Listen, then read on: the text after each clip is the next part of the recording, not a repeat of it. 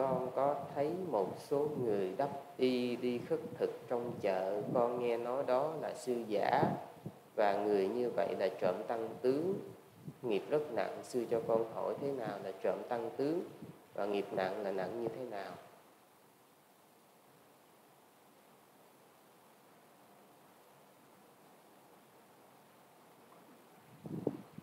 Sư thì cũng có đi khất thực cho nên nói mà một người đi khất thực ở ngoài là sư giả thì hơi bị quơ đủ cả nắm.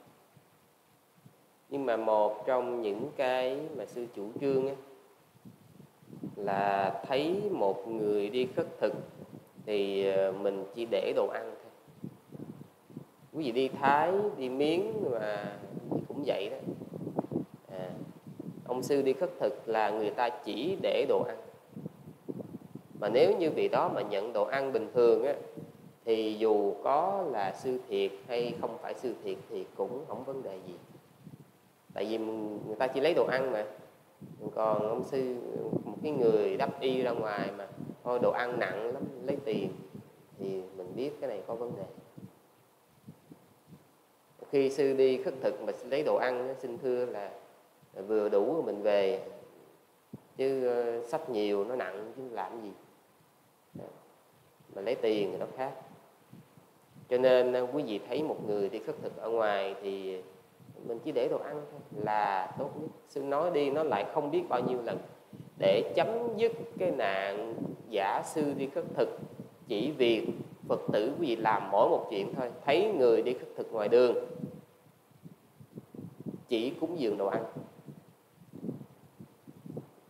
không tiền là xong. Đâu có ai rảnh đâu. Giờ ờ, ăn xin thì nó cũng ờ, lựa chọn cho đồ ăn nó không lấy cho tiền. Một cái chuyện giải quyết nó đơn giản như thế mà sư lấy làm ngạc nhiên là từ trên xuống dưới không ai chịu làm. Để rồi đi đến một cái chuyện là cấm chư tăng đi khất thực cái chuyện mà cấm chư tăng khất thực cái nghiệp đó nặng nặng kinh khủng. Tại vì nó à, là cắt đứt cái con đường chánh mạng của chư tăng. Còn cái chuyện là trộm tăng tướng thì một người trộm tăng tướng có nghĩa là vị đó mạo xưng tỷ kheo mà không phải là tỷ kheo.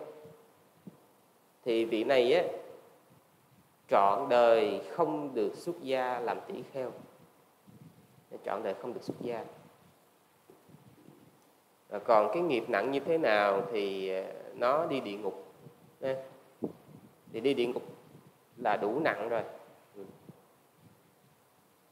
Hơn nữa, nếu như mình không phải tỷ kheo mà mình ừ, giả danh tỷ kheo để mình đi khất thực mình còn tạo một cái nghiệp nữa là mình ăn cướp tài sản của tam bảo. Tức là lẽ ra người ta cúng dường là cúng dường cho tam bảo, tức là cho chư tăng, cho tam bảo thiệt. Hàng liêu đó mà cái người đó họ lấy, tức là họ đi đang ăn cướp. Mà cái người ăn cướp như thế là cái nghiệp nó nặng lắm. Thì cũng đi địa ngục, mà đi phải nói là rất là lâu và rất là xa.